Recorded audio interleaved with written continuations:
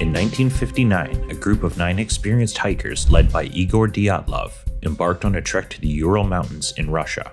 When they failed to return, a search and rescue operation was launched, and their tent was found ripped open from the inside with all of their belongings and footprints heading into the woods. The bodies of the hikers were eventually found, with some of them partially dressed and without shoes, indicating they fled their tent quickly. Although the initial cause of death was thought to be hypothermia, injuries including skull fractures and internal injuries on some of the bodies were suspicious.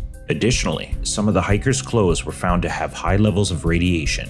Many theories have been proposed, including a Yeti attack or a Soviet missile test gone wrong, but none have been proven.